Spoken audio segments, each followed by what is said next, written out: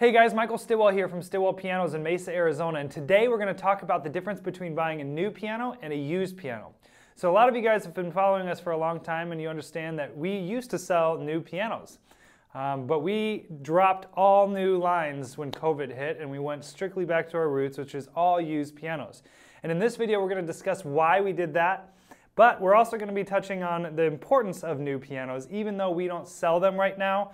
Um, there are some places where that is helpful.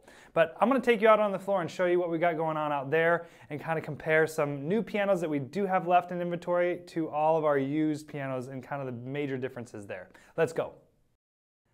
All right, so now we're out on the showroom floor and I'm standing in front of a Johannes Seiler, which is brand new, and a used Falcone.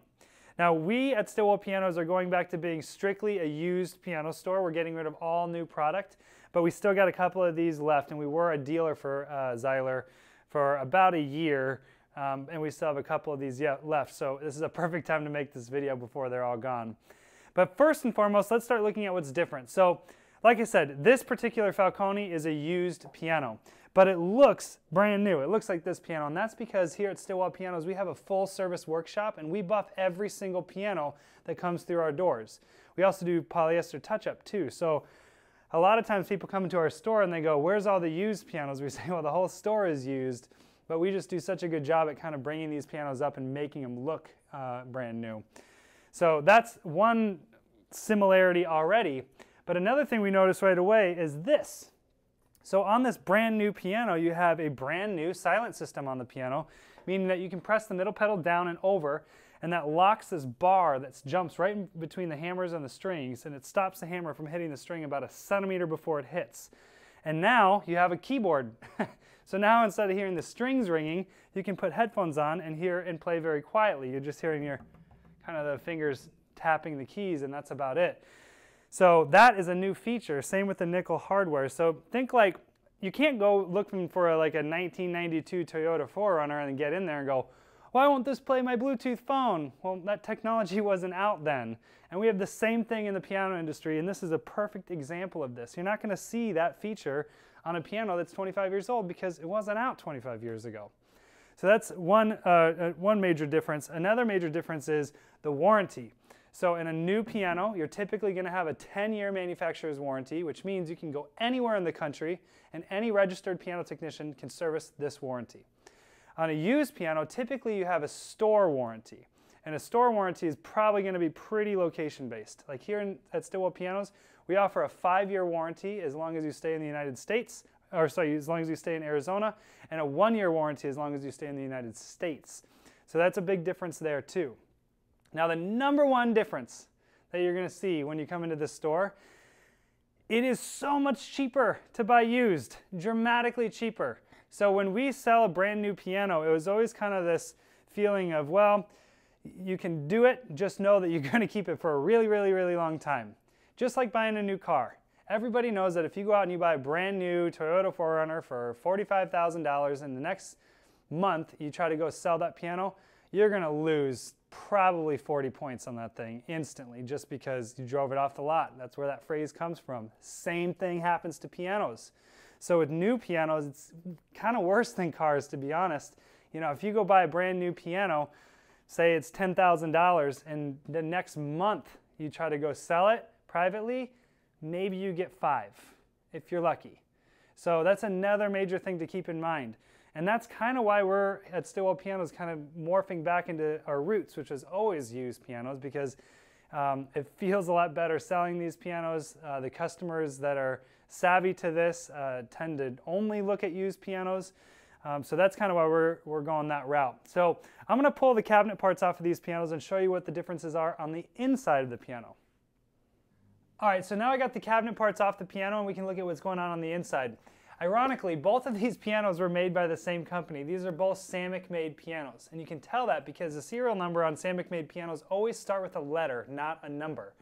Um, and so both of these start with letters over here. And if you look closely, they're eerily similar um, scale designs and even the way the plate is laid out. Um, they are different scale designs from what I understand. Uh, Seiler has their own um, designs for this, but they're pretty much identical.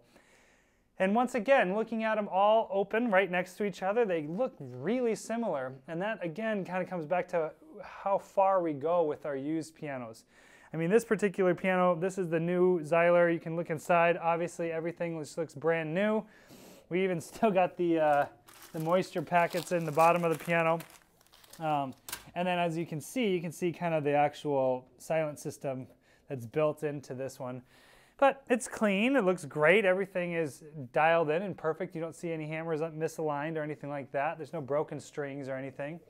And when we come over here, we have a brand or a, a used Falcone and kind of the same thing, right? We don't see, you know, any kind of stains anywhere. Your hammers are all nicely aligned.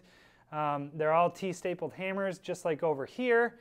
I mean, even to, down to where they put these, these plate decals, which are, by the way, just plastic that they paint over. And so these are all going to be kind of the same pianos, and they'll st stencil on these different names by putting these plastic plates over the plate itself before they paint it. So if you go to a piano store and you want to figure out if it's a real Falcone or a real Seiler, open it up and go, and you'll hear kind of a little plastic sound a lot of times. Um, but again, totally clean, very well put together. You're not seeing any glaring issues at all. Um, we don't obviously have the silent system on this piano because it's older than that piano and it just wasn't around then. Instead, we have this practice pad, which you push down the middle pedal on this piano, and it drops this felt in between the strings and the hammer, and it makes the piano a little bit,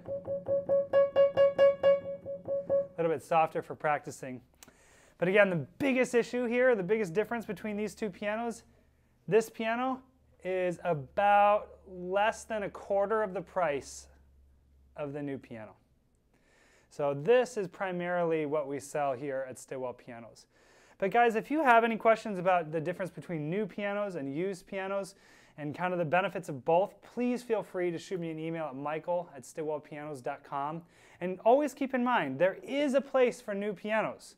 For families that want to keep a piano for generations and generations, it might be better to start with a brand new piano that's zero years old as opposed to one that already has 25 years of life on it. Um, same thing with cars. It's not the end of the world to buy a car that's brand new if you're going to keep it for a really long time. But if you're the type of person that's going to get a new car every four to five years, typically it's better to buy used. Um, and piano, you take that four to five years and turn it into maybe 20, 30 years. so if you think you're going to get rid of it in 20, 30 years, um, you can go with used. But if you're going to keep it longer than that, go with new. You can pass it down generation to generation depending on the brand and the quality it started as. Um, but guys, I hope this helps. If you have any questions about this topic, always feel free to shoot me an email at michael at stilwellpianos.com. Thanks for watching.